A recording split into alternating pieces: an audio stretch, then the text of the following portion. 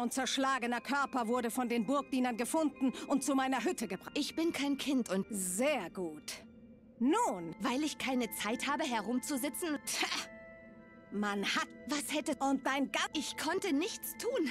ein riesiger Troll? Carlos, Sie ist... ich werde... Es gibt immer noch Hoffnung. Ich verspreche... Sehr...